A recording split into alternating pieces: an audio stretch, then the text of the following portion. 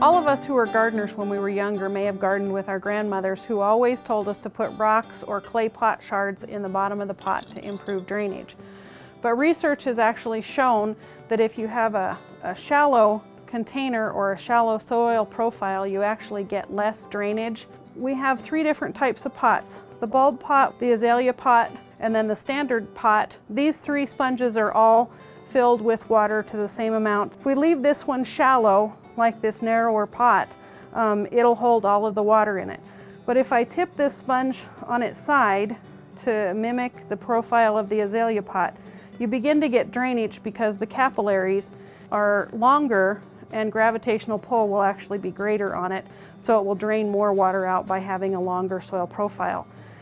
And if we tip the sponge on its side the long way to mimic the standard pot, which has a longer soil profile, there's more gravitational pull on that water in this sponge.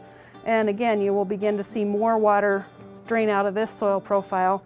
So if we leave gravel out of the pots, we actually have a longer soil profile, which allows gravitational pull to work on the water in the soil. And you actually get better drainage by filling the pot entirely with soil rather than having something in the bottom of the pot. This is Donna Hoffman for the University of Wyoming Extension, and you're watching From the Ground Up.